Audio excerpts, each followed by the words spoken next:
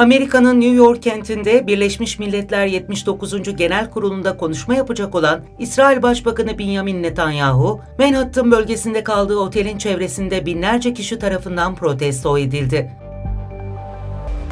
New York Polis Departmanı Netanyahu'nun kaldığı otele göstericilerin yaklaşmasını engellemek amacıyla üst düzeyde güvenlik önlemleri aldı. Polis Manhattan'daki birçok sokağı trafiğe kapatırken Grand Central tren istasyonundan yürüyüşe başlayan göstericiler Netanyahu'nun kaldığı otele doğru ilerledi.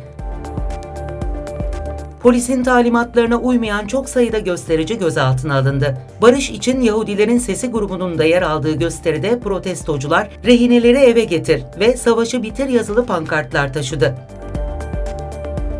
İsrail'in bugün Filistin'i terk etmesi gerektiğini belirten protestocular, soykırım sona erene kadar, İsrail Filistin'den çıkana kadar sesimizi yükseltmekten vazgeçmeyeceğiz. Filistin bizimdir. Sesimizi duyurmak, İsrail Başbakanı Netanyahu'ya karşı sesimizi yükseltmek için buradayız vurgusunda bulundu.